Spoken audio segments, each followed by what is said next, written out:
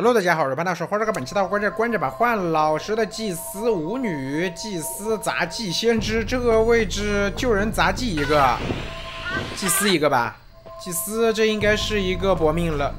上来的话遇到杂技，哎，其实抓个杂技也还行吧。抓杂技闷掉一个搏命，当然这套阵容肯定抓先知是最香的。那你上来遇到了吗？我觉得这边杂技，因为看这套阵容就都知道，脚趾头想想都知道这杂技是个搏命了，那肯定没有双弹，对吧？弦没了，但是这边的话平地刀有没有机会？风技能火球往前跳进，但这边的板子是已经破掉了，所以杂技这个位置可能还是要吃到伤害。位置封住，我三二一，补不上的话，平地给你来一刀，鸟给上，很不错啊。两边的一个对抗可以看到，就是非常顶尖的一个对抗了，谁都没有给到对方任何的机会。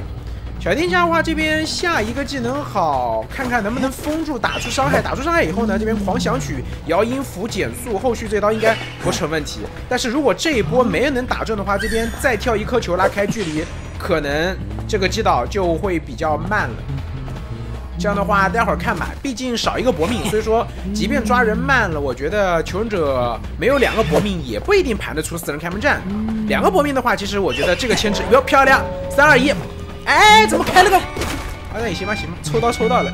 当时不开这个狂想曲，感觉这刀挥上的话应该已经倒了。还行，这边抽刀抽到，那也行吧。这边的话击倒时间是一分。哎，我感觉已经牵制了很久了，为什么才一分半多一点？一分四十秒。那求生者这边的话，机子我们看一下。三台，祭司来救一波。祭司应该第一波最好是搏命套吧，因为第一波不搏命套，感觉人走不了。但是如果祭司的位置被看到，我们看舞女，舞女是个双弹啊。这边舞女应该是加速八音盒修机子了，总不可能舞女来救。舞女来救的话，吃一刀。这边凯德尔看八音盒怎么放吧，因为这边马上有一根弦跟过来了。三二一，弦已经放了，能救得下来吗？没能救掉，没能救掉，牵起来打气球刀，祭司把人捞下来。那舞女这边被挂上，这个杂技我不要了，来，你救，我让你救，我看你怎么救，对不对？你没搏命了呀，小伙子，来来来来来，你不是欢老师吗？你很厉害，来，救，等等等，无穷洞开，弹弹弹弹弹，搏命搏命搏命，搏命是在最后一刻，这搏命还好，再换挂一个也行。我再换一个，你谁来救？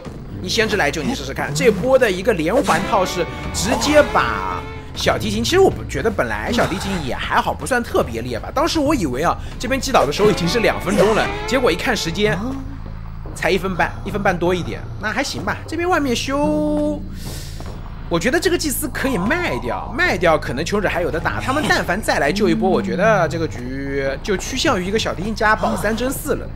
因为这波救祭司要过半，且这个先知不一定救得下来，救得下来这两个人也不一定走得了。外面的机子差的有点多，嗯嗯，还是阵容没有救人位啊。这边的话，先知这个位置有点难，不好说，因为他这边还可以弦拉不到，还有无穷洞的。这个位置弦拉不到，还有无穷洞的，等无穷洞弹卡掉可以。不得不说，先知这个，